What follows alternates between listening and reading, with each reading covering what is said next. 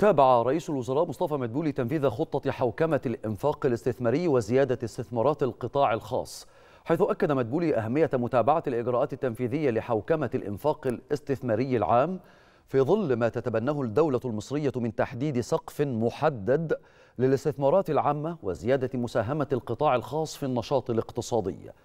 وخلال الاجتماع استعرضت وزيرة التخطيط والتنمية الاقتصادية والتعاون الدولي رانيا المشاط الموقف التنفيذي لإجراءات حوكمة الإنفاق الاستثماري وإعادة ترتيب أولويات خطة العام المالي الجاري 2024-2025